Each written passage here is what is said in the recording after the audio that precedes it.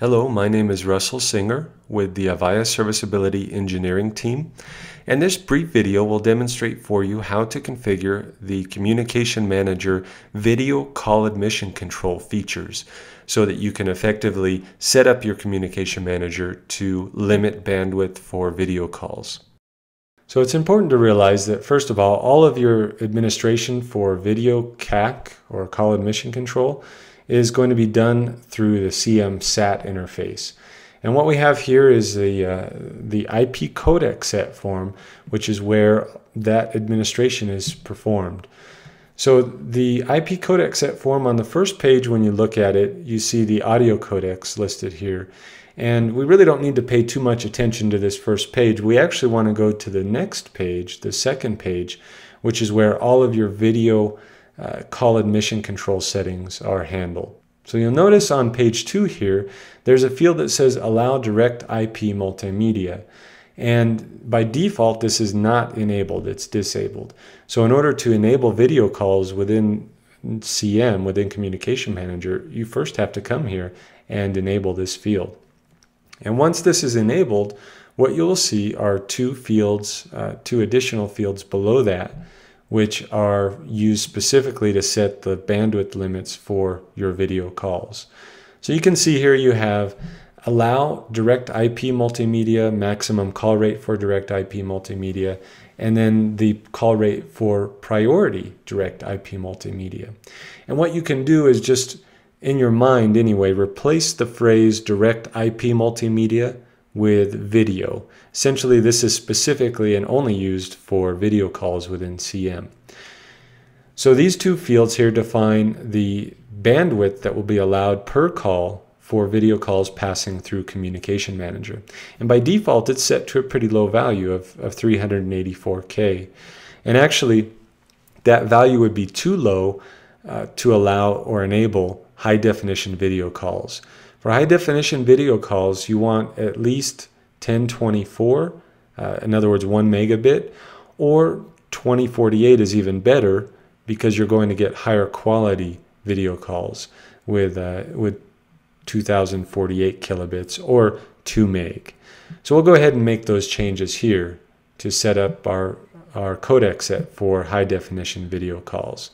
Now you might be wondering, well, how do you assign a codec set to an actual station, uh, whether it be H323 or SIP. And that's what we're going to look at now is how you can assign a codec set, first of all, to an H323 station. So my H323 station that we'll be looking at first is 555 3000. And you'll notice here on my station that I have IP video soft phone enabled.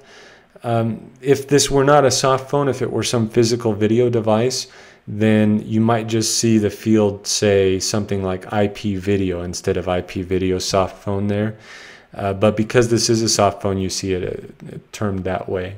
Either is fine, but you do need to come here and make sure that your station is video enabled. Now what you need to do is look at the IP interface that your H323 station is registered to. So that's what we do here when we look at the PROCR, which is the IP interface associated with the processor.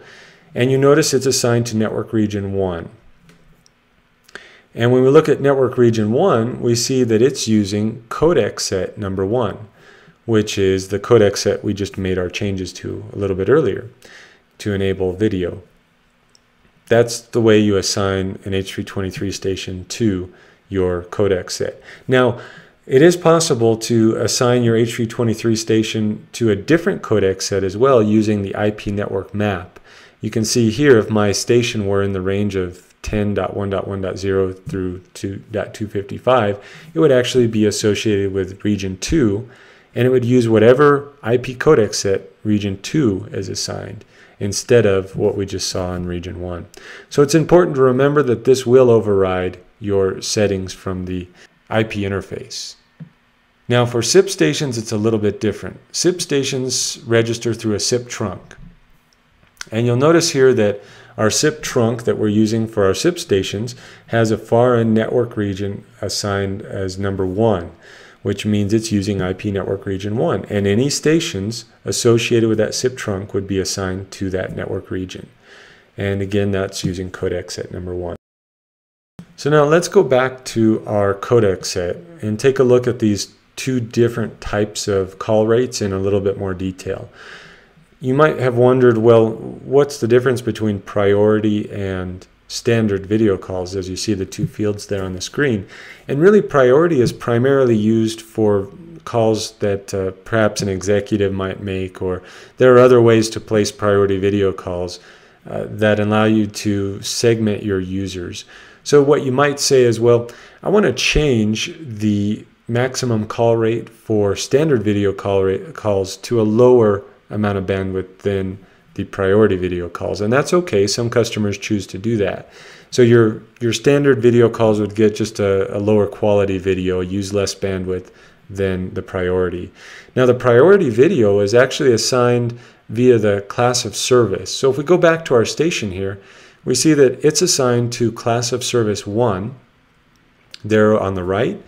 And if we look at class of service 1, here on page number two is where we'll find the priority video field. We can see that for class of service one, the priority IP video is set to yes. So that station would be able to place priority video calls and use the higher quality bandwidth setting that we saw there on the codec set. And that's really all there is to configuring uh, CAC for video calls in Communication Manager 6.0.1. Thank you for your time today. We hope that this information was useful, and we welcome your comments, questions, and feedback via email at mentor at avaya.com or on Twitter at avaya mentor.